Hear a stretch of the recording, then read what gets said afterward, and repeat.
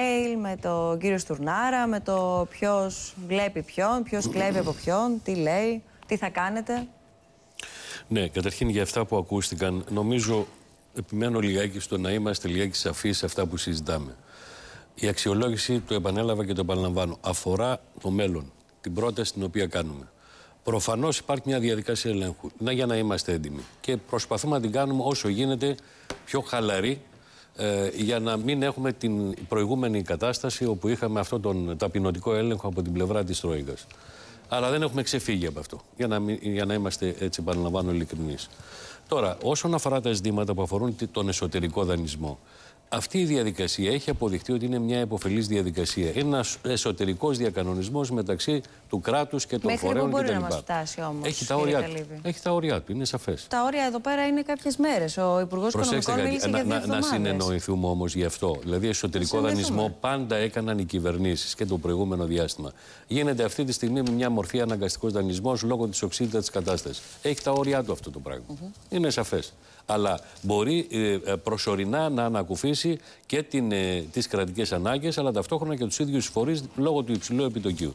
Τώρα, η, η- το μνημόνιο ε, δεν συνεχίζεται. Έχουμε κάνει μια διαχωριστική γραμμή.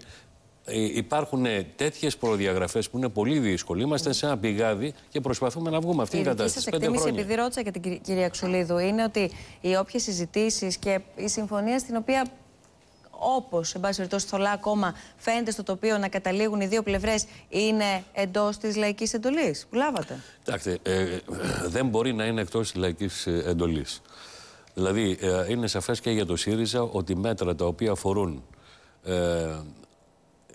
μέτρα της ίδιας λογικής από την, που είχαμε από την προηγούμενη κυβέρνηση, δηλαδή ή καθεστώς υπερφορολόγησης, ή χτύπημα των συντάξεων, ή ε, ακύρωση ή ομαδικές απολύσεις, ή ακύρωση των, ε, της επιδίωξης της κυβέρνησης να Ναι. φέρει τις ε, συλλογικές συμβάσεις και τα 751 ευρώ δεν πρόκειται να γίνουν αποδεκτά.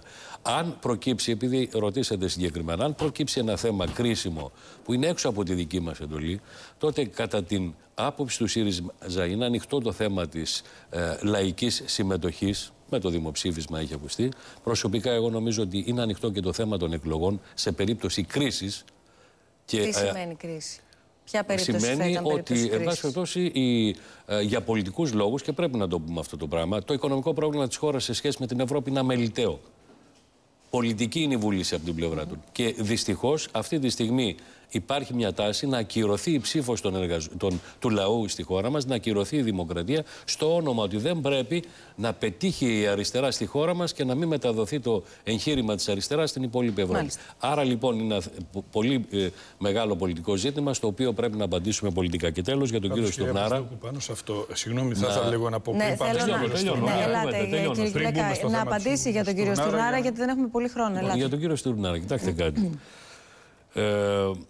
Ε, ο κύριος Στουρνάρα συμπεριφέρεται σαν μνημονιακός υπουργός. Δεν ξέρω αν οι φιλοδοξίες του είναι να ηγηθεί του μνημονιακού μετώπιση στη χώρα μας. Αλλά ωστόσο το ρόλο που έπρεπε να παίξει δεν τον παίζει κατά την άποψή μου. Τι εννοείται; Εννοώ ότι ο, ο τραπεζίτης, ο κεντρικός τραπεζίτης πρέπει να έχει τον έλεγχο των τραπεζών, πρέπει να ε, ε, ασκεί μια πολιτική η οποία να μην είναι σε σύγκρουση με την κυβέρνηση. Είναι άλλο πράγμα η ανεξαρτησία και άλλο πράγμα να ε, δημιουργούνται προβλήματα όσον αφορά την πολιτική της κυβέρνησης. Λοιπόν, από αυτή την άποψη, η προσωπική μου εντελώς άποψη είναι ότι ο κύριος Τουνάλας δεν θα έπρεπε να είναι ε, διοικητής της Κεντρικής Άρα τι Τράπεζας. ζητάτε, την παρέτησή του, γιατί οι ανεξάρτητοι Έλληνες κάτι τέτοιο ζητούν. Κοιτάξτε, ε, αυτό είναι θέμα της κυβέρνησης και του Πρωθυπουργού.